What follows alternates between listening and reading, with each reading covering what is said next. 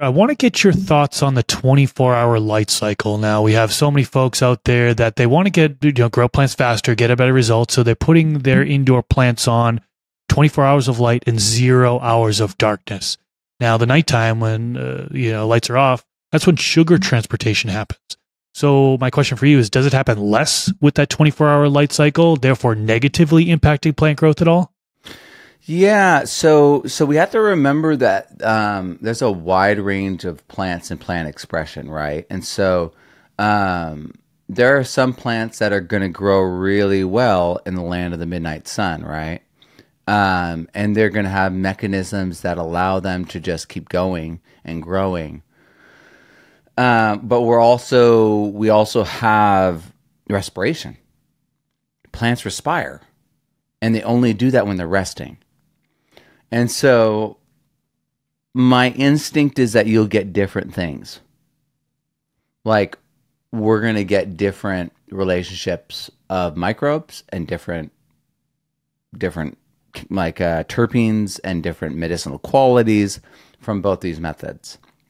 I want to see side by sides on full workups on like the parts per million, on the phenolics, the terpenes, all those things uh, to really to really say. And you're going to probably have differences in expression in, in terms of like where the plant's from. So let's say you're growing a, a you know a certain plant from like the Himalayas, right? Those are going to behave very differently from like the same family from Africa, right? Uh, and those genes do exist in strains, right? And so what I've seen in practice with people doing indoor grows, from them flushing things to like the artificial light cycles, um, they're all trying to imitate or short uh, cut nature. Why do we do light dep? We do light dep because we're trying to imitate the end of the season when there's less light. And so if we take that as the as the guiding principle, you got to do what's most natural. And like that's the principles behind this. I literally asked, what's most natural? How did nature originally do this?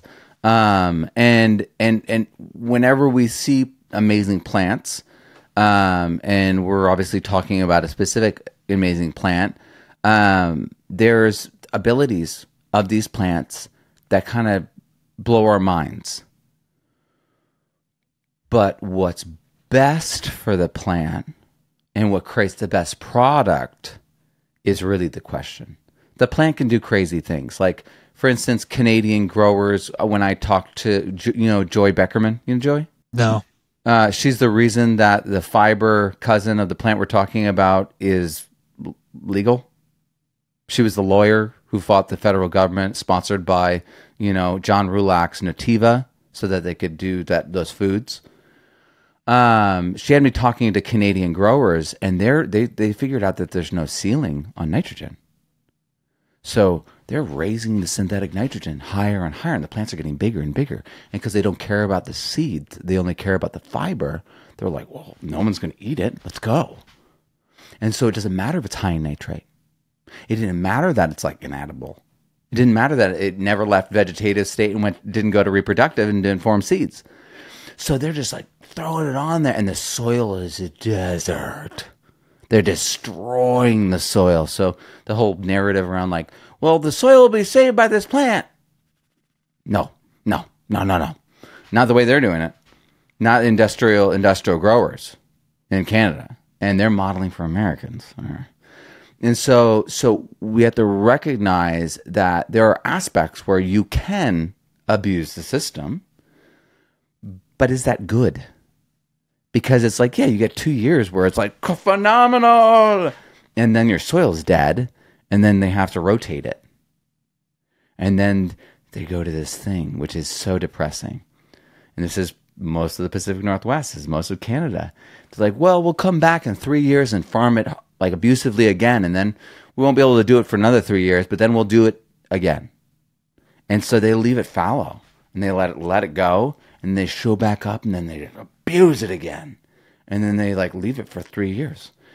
Meanwhile, they could be farming that patch of land every year and having the soil improve, their products improve, and their bottom line improve.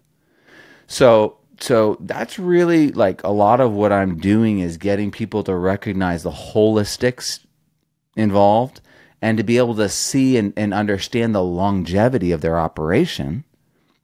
Because yeah, there, there there's there's plenty of things that we could do that could stretch it this way or that way or or push things, you know, but asking what's most natural has a holistic effect. You know, if we're not burning our soil, you could amend and then use that soil again. Or you could treat and then ferment and use that soil again. Like there's a bunch of things you could do. Um, you could even dump them all in the backyard, amend it, tarp it, ferment it, and then use it all again. You know, there's a bunch of things that people can do uh, that they're not doing. So, so that's that's really my instinct when I hear like that. Like, can we go all the way? It's like you know, plants are pretty amazing. They're wanting to survive, and like we can do like these hoops and make them do these weird things. Like, I mean, they have plants now like imitating plastic leaves.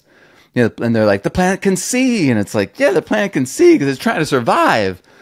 You know what I mean? He's like, you know, we're, we're torturing things to see how far they can go. We're like, we're doing all this stuff. And instead of saying, like, what would be best for the plant and letting that speak to us and looking at what that actually looks like. Because when a plant's super healthy, it's going to actually invest in the next generation.